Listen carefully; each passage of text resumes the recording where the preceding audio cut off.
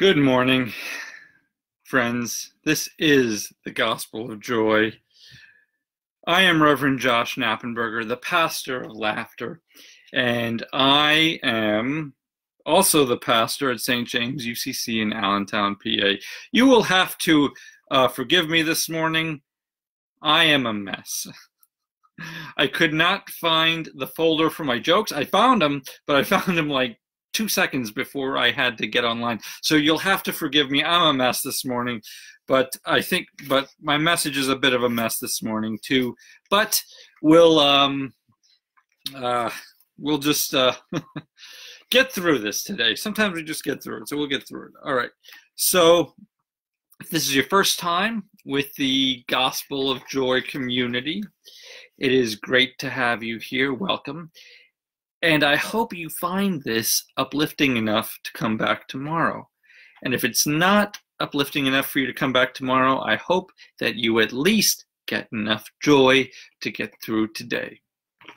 Um, you can check the the YouTube channel, St. James UCC, Allentown, on um, for all the videos you may have missed, for buddies, for jokes, for messages. All the videos you may have missed are on the YouTube channel, so go check them out. And don't forget to tag your friends in this video.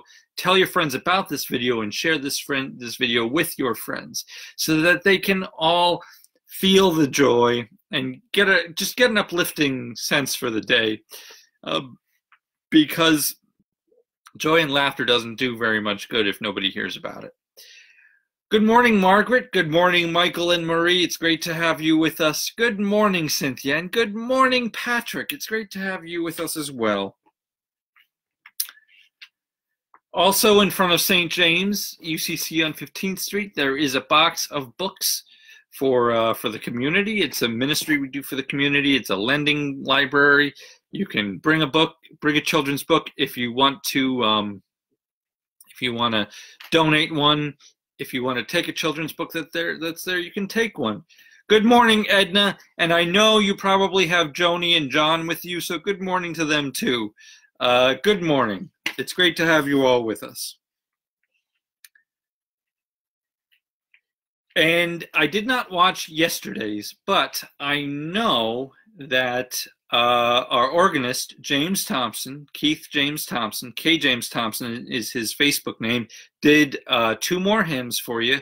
So tune in to him at 2.30 this afternoon, and he will play two more hymns for us. And you can sing along, or you can just close your eyes and sway with the music. That's what I do. I close my eyes and I sway with the music. I don't even sing along. But, um, you know, check him out, 2.30 every afternoon it's a very uplifting uh, offering he gives. Good morning, Lisa. Good morning, Fred, and good morning, Carl. It's great to have you with us as well. All right, I got my buddies with me. Uh, I'm going to do for the next couple days Optimus Prime and Megatron combinations. So um, this is Optimus Prime from Transformers The Last Knight. Uh, the second to last Transformers movie that was made. He's got a big sword here. Uh, he he looks like a knight. He's dressed like a knight. He's got this in front, uh, which knights wear, and he looks like he's wearing armor. So yeah, um, this is Optimus Prime from the Last Knight, and this is Megatron from the Last Knight. He's got a flame effect coming out of his cannon. He's got a sword there too, and they're ready to to do battle if they were facing each other. Now, there's something cool about Megatron I want to show you all.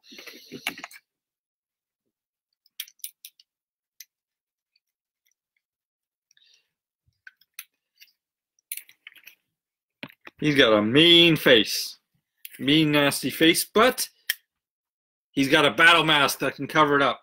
So uh, he's yeah, he, he's pretty cool. He's got a cool effect. He transforms into a plane, and he, of course, transforms into a, a red and blue truck, Optimus Prime, red and blue truck. That, that That's what he transforms into. Good morning, Carol. It's great to have you with us, too. Always great to have you with us. Okay. Now,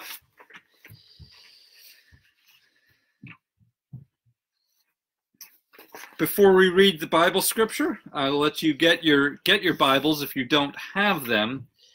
Uh, the Bible verse we are looking at is Matthew chapter 12, verses 33 to 7.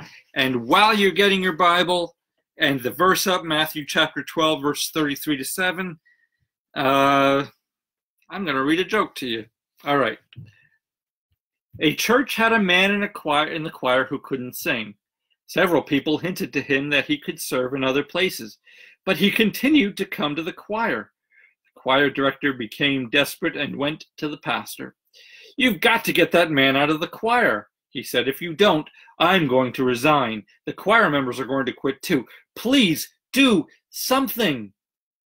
So the pastor went to the man and suggested, Perhaps you should leave the choir. Why should I get out of the choir? he asked. Well, Five or six people have told me you can't sing. That's nothing, the man snorted. Fifty people have told me that you can't preach. that one's pretty good. All right. On to the scripture verse for today Matthew chapter 12, verses 33 to 7, and you can read along with me. Either make the tree good and its fruit good, or make the tree bad and its fruit bad. For the tree is known by its fruit. You brood of vipers, of vipers, how can you speak good things when you do evil things? For out of the abundance of the heart the mouth speaks. The good person brings good things out of a out of a good treasure, and the evil person brings evil things out of an evil treasure. I tell you, on the day of judgment, you will have to give an account for every careless word you utter, for by your words you will be justified, and by your words you will be condemned.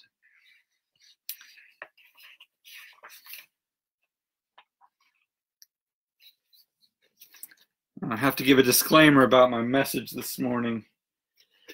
This is the gospel of joy, and we're about about joy and laughter. But this message doesn't have much joy or laughter in it. Um, and one day I will be judged by uh, by the fruit of my words, but um, it's something that I think needs to be said.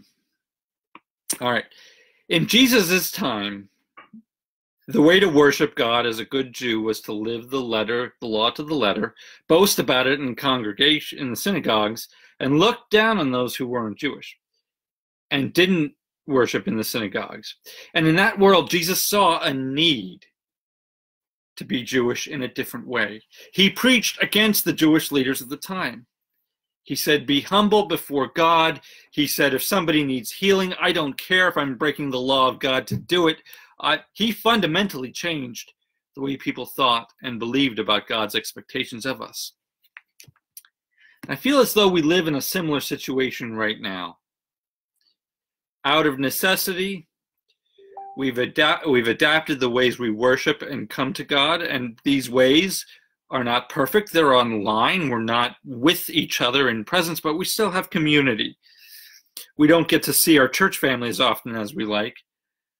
But our adaptive our adaptations, for the most part, have been effective and for the good, I think. We've learned how to do church and worship over the internet, as we're doing this morning. We've learned the importance of reaching out to the members over the phone who don't have the internet and don't have computers. We have fundamentally adapted to the needs of our time. Now, I'm not going to get political, secular political anyway, but the nationwide changing of the status of churches to essential services happened this week. President Trump changed the status of church services to essential. Some people are happy about this, others are upset about it. But to be honest, I don't understand the upsetness. I personally agree with some of the, the people who are upset that Trump's, uh, the president's um, presidential order is reckless. But the secular leadership of our country has done nothing but put the burden of decision onto the denomination and the congregation to make the decision that is right for them. He hasn't said you have to go back to church, he just says you can go back to church. And as such, responsibility falls on the denominations and the congregations. The consequences of those decisions also fall on the denominations and the congregations. And this is the way of the United Church of Christ. We are congregational. Catholics and Methodists, they aren't congregational. Okay? And I'm not saying anything against them. It's the way they do their church and the way it works for them. But in in Catholicism, the Pope says something and the bishops say something and the churches have to have to act that way. In the United Church of Christ, we are not a top-down hierarchy. We're very much a bottom up, which means the congregations and the pastors and the churches make the decisions that are right for them. In any times, we are congregational, and as I said, we believe each church should decide its own fate. And in these decisions, we call on the one who changed the world in his own time. We call on Jesus to guide our discernment. The question is not, is our secular leadership right? That's shifting responsibility and blame. The question is, what is right for our congregation?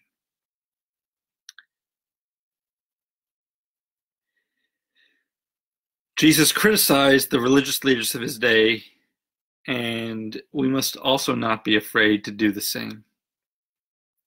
Now, we look to Jesus to guide our discernment, but we look to our denominational leadership to provide us with the information and tools we need to make these decisions. We don't look to our denominational leadership to play political games. Now, righteous anger is a real thing, but we are not talking about a house of God in which merchants are price gouging. And I have to be honest with you all this sermon, this message is a reaction of of me from based on the reaction of our national leadership, of the UCC's national leadership. And I don't know if my anger right now is justified or not, but I do know we do not get our hope from our political leaders. Our hope does not rise and fall based on what the president says or issues a decree on. We get our hope from Jesus Christ. And our national church leaders would do well to remember that. They may not serve congregations anymore, but they are still called to be conduits for that hope. It is a hope we state every day here on the gospel of joy and say it loud and proud with me whether we live or whether we die, we belong to Jesus Christ. That's right. Amen. I have some other funnies. Now, uh, as I said, I couldn't find my joke folder until right before um, uh, right before I started the live stream. But uh, so I didn't get a chance to read all the jokes I chose, but uh, we'll we'll we'll see how they turn out.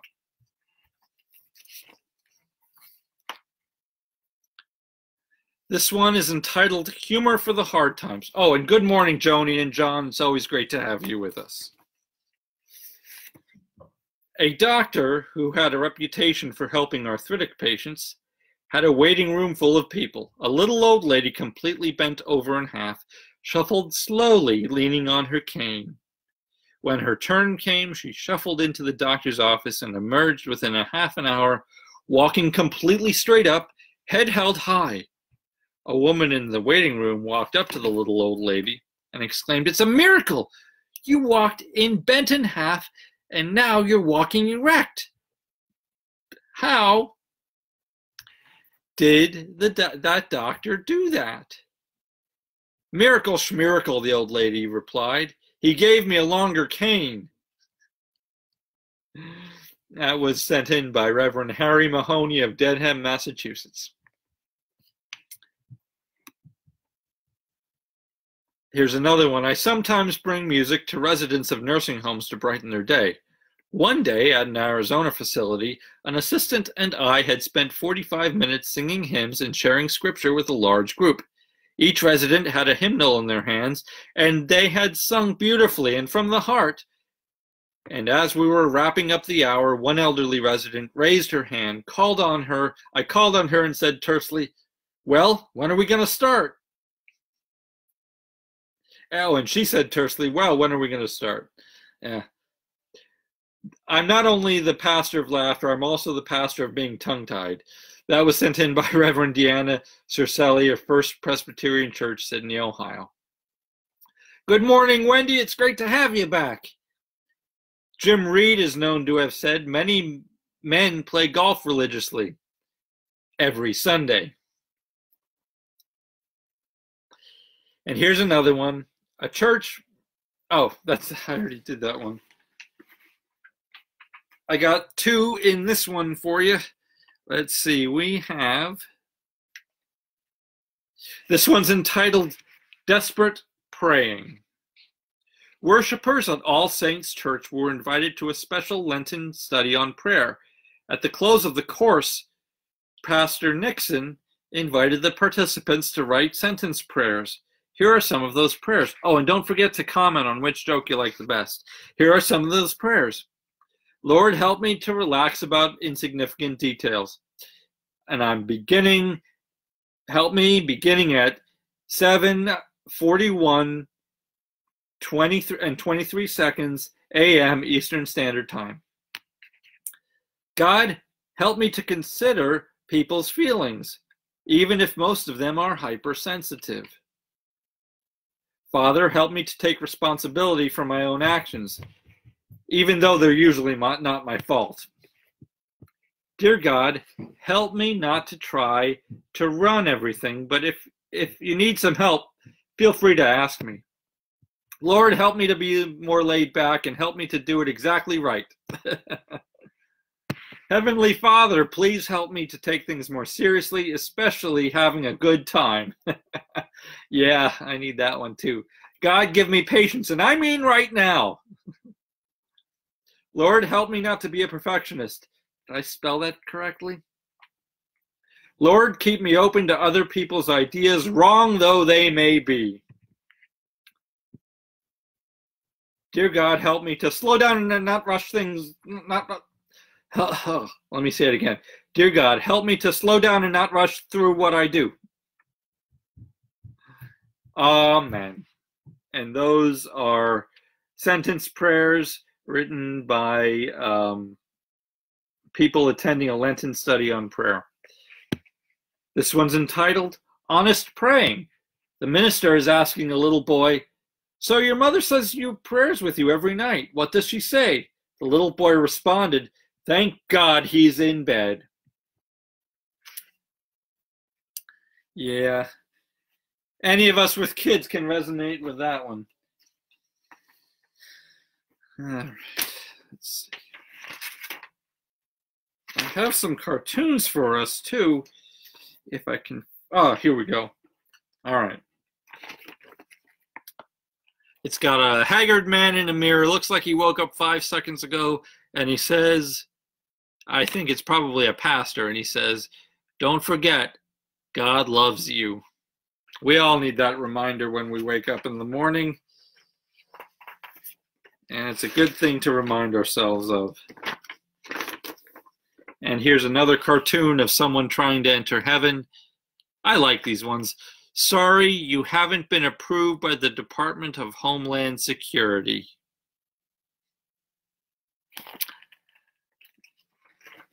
Oh, yes. Okay, so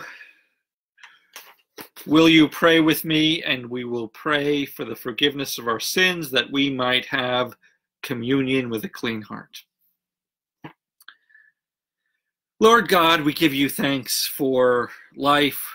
We give you thanks for those who you have put in this world to lead us in these times. Remind them including the one who is giving this prayer, that they are in place to filter and give the hope of Jesus Christ, that they are the conduits for his hope and his love through you. We also ask that you forgive our sins, forgive our righteous anger when it was not righteous. Forgive that those things that we have done that have hurt others, the things we have said. Forgive these things and help us to go forth into the world with a clean heart, showing this mercy and forgiveness to others. We ask these things in your name. Amen. As we do every Sunday, we will now share in communion. Be sure to get your bread and your juice, or your wine if you have some. And we will share in communion. And as you get your bread and your juice, I'm going to pick another another joke to tell I didn't plan on picking another joke to tell, but uh, all right, here we go. I'll I'll, t- I'll tell tell a couple of them.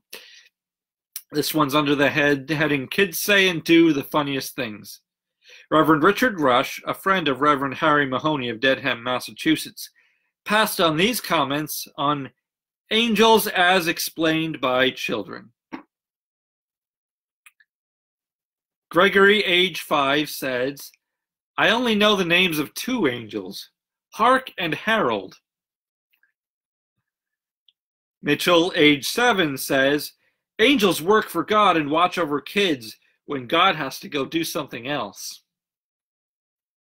Sarah, age seven, says, What I don't get about angels is why, when someone is in love, they shoot arrows at them. Henry, age eight, says, My guardian angel help, helps me with math, math, but he's not much good for science. yeah, I, yeah. Vicky, age eight, says some of the angels are in charge of helping sick anim- heal sick animals and pets. And if they don't make the animals get better, they help the children get over it. Now, it's a direct quote. I would change it uh, to they help the children heal from it. But it's an eight-year-old. I think he's got the right idea.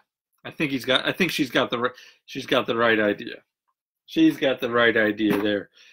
Okay, we are going to have communion, and I invite anyone who professes Jesus Christ as Lord and Savior to join us in our communion this morning. Anyone is welcome at this table who professes Jesus Christ to be Lord and Savior and understands the um, uh, the unifying nature and the um, the love and hope that is given through the sacrament. I love showing you my communion kit. I only I have another one, but this is the the prettiest one that I have.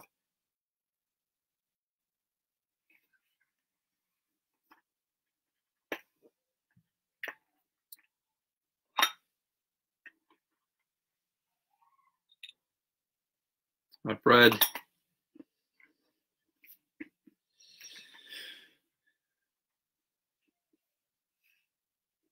Will you pray with me?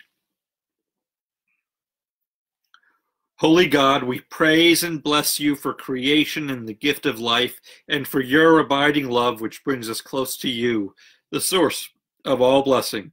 We thank you for revealing your will for us in the giving of the law and in the preaching of the prophets we thank you especially that in the fullness of time you sent Jesus, born of Mary, to live in our midst, to share in our suffering, and to accept the pain of death at the hands of those whom Jesus loved. We rejoice that in a perfect victory over the grave you raised Christ with power to become sovereign in your realm we celebrate the coming of the Holy Spirit to gather your church by which your work may be done in the world and through which we share the gift of eternal life. With the faithful in every place and time, we praise with joy your holy name. Holy, holy, holy God of love and majesty, the whole universe speaks of your glory, O God most high. We remember, O God, that on the night of betrayal and desertion, your Son, Jesus Christ, took bread, gave you thanks, broke the bread, and gave, the, gave it to the disciples, saying, This is my body, which is broken for you. Do this in remembrance of me. In the same way, Jesus also took the cup after supper, saying, This cup is the new covenant in my blood. Do this as often as you drink it in remembrance of me. Consecrate, therefore, by your Holy Spirit, these gifts of bread and wine, wherever they may be, and bless us, that as we receive them at this table, we may offer you our faith and praise, and we may feel the unity of Christ with one another, and we may continue faithful in all things. In the strength Christ gives us, we offer ourselves to you, eternal God, and give thanks that you have called us to serve you. Amen.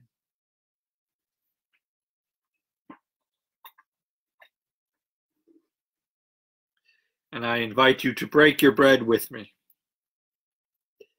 Through the broken bread, we participate in the body of Christ.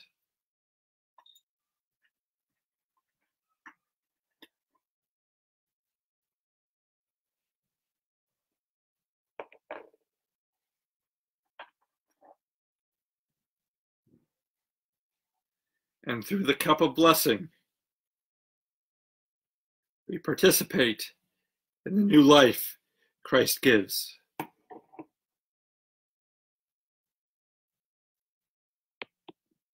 And therefore we proclaim the mystery of our faith. Jesus Christ has died, Jesus Christ has risen, and Jesus Christ will come again.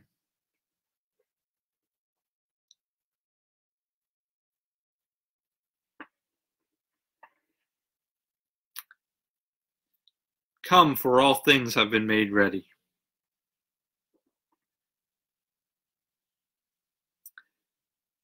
This is the body of Christ, and it has been broken, that we may find our wholeness in it. Take and eat.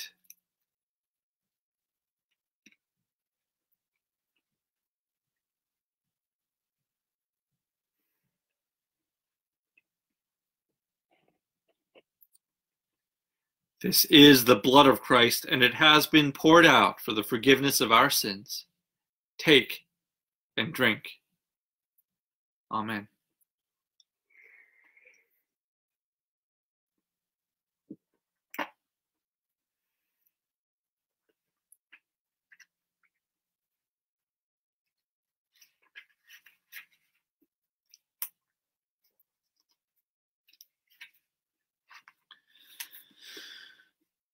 Let us pray in thanksgiving for what we've received, and we will end with the prayer of our Savior. We thank you, God, for inviting us to this table where we have known the presence of Christ and have received all of Christ's gifts. Strengthen our faith, increase our love for one another, and let us show forth your praise in our lives. Through Jesus Christ, our Savior, who taught us to pray when we pray, saying, Our Father, who art in heaven, hallowed be thy name. Thy kingdom come, thy will be done on earth as it is in heaven. Give us this day our daily bread, and forgive us our debts as we forgive our debtors. And lead us not into temptation, but deliver us from evil. For thine is the kingdom, and the power, and the glory forever. Amen.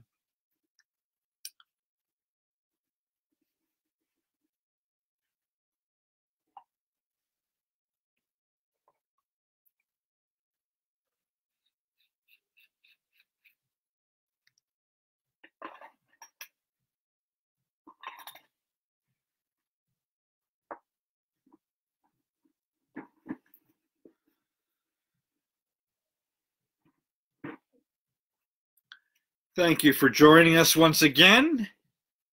Don't forget, keep safe, keep healthy, and keep laughing. Don't forget to do one thing every day that gives you joy, no matter what that one thing is. Do it.